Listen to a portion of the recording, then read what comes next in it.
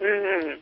ただ、そうですね。そうですね。まあでも、僕はやっぱり逆に、今日、どういう風な感じで見ていけば、この、ソチオリンピックのこのフィギュアスケートっていうのを、僕は楽しめるという言い方をあえてしたいのですが、八木沼さん的には、はいこの日本勢、まあ日本勢3人、今日どういう感じのですね、えー、滑りを見せてくれるかなと思います。はい。あの、まあ、確かに、あの、ショートプログラム、ちょっとその3選手ともに、本来持っている力は発揮できなかった部分はあったんですけれども、でも、やはりそれがあの、オリンピックの、あの、4年に一度の大舞台の、すね。凄さっていうところもあるのかなとは改めて思ったんですけれども。逆にオリンピックってのはすごいですね。うん。そうですね。でも、そこに、その大舞台に向かって、彼女たちはもうずっとこう努力をしてきて、はいいろいろなドラマを経て、このはい舞台に立っているわけなので、はいぜひぜひ応援していただきたいんですけれども、はいあのーそうですね、今日、今朝も先ほど練習見てきたんですが、はい。ああのーちょっとこう気持ちもリセットされて、うん。もうフリーに向けて集中して練習していたように見えました。で、あの、決して調子は悪くないんですよ。うん、うん。本当に。うん。で、ショートの前もそうだったんです。本当に。うんなので、あの、やっぱりその気持ち、はい。やっぱりあの、これまで4年間、まあ、浅田選手、もちろん鈴木選手も村上選手もそうなんですけれども、うんやっぱりそのソチオリンピックを目指してやってきて、で、やっぱりこの舞台にかける強い思いっていうのはすごくあったと思うんですよね。はいだからこそ、やっぱりその気持ちと体をコントロールするっていうのが難しい部分があったんじゃないかなっていうふうには思うんですけれども、はい。でも、今日のフリーでも、それぞれの選手が、あのーこのオリンピックで、これをやりたい、こういう滑りをしたいっていう目標を持って滑りますので、うんうん最後までこう熱く、エネルギッシュに、うん。絶対こう悔いのないように、私自身も、あのーぜひ3選手ともに滑ってもらいたいなと思いますね。絶対それを見て、あの、テレビを見てる、あの、皆さんにも画面からでも伝わってくると思いますので、はいこれあの、真央ちゃんはですね、全6種類、計8回の3回転ジャンプに挑戦すると聞いたんですけど、これでちょっと具体的にどんな感じのジャンプなんでしょうか？これっていうのは、むしろ誰もができるわけじゃないんでしょ？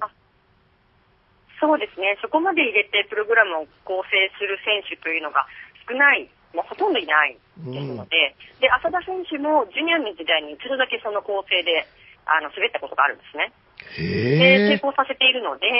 で、シニアに入ってからはその構成にはしていないんです。で、今回、やはりそのトリプルアクセルを一度にして、えー、まあ、エイトトリプルって言われている構成なんですけれども、はい。その構成を、あの、あえてやっぱりこう、チャレンジということで、はいあの、このオリンピックの舞台で、フリースケーティングで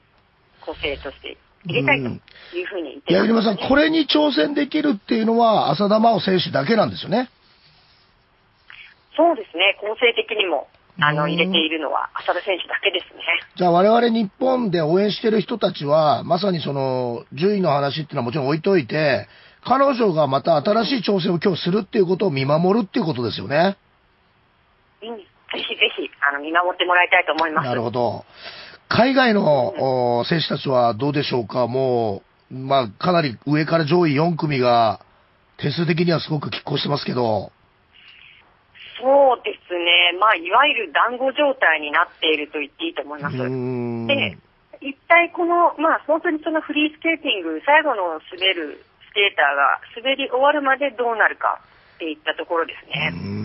ですから、あの、このフリースケーティングでの、えー逆転というのももちろん可能になってくるでしょうし、まあ、最後まで本当にこう、になんどの演技も見逃せないという感じになるでしょうね。八木沼さんから見て、昨日見た感じ、この上位の4組の中でもかなり、まあ、普段以上の力が出せてる、もっと言っちゃうと状態かなりいいなと思った選手います？うーん、どの選手もいいんですよね、本当に。はあこれが。なるほど。えー、なので、えー、まあ、あの、地元のロシアのうん10代の若手の2人外見川ニツカヤ選手と外ニコワ、はい外ニコワ選手。外選手ももちろんそうなんですが、うんイタリアのコストナー選手も、アメリカのグレイシー・ゴールド選手もいい。はいい。や、コストラー選手はそのすごい選手ですね。うんその選手たちが今、首位にいる、えーキム・ユナ選手を追うという立場になりますよね。うんうんなるほど。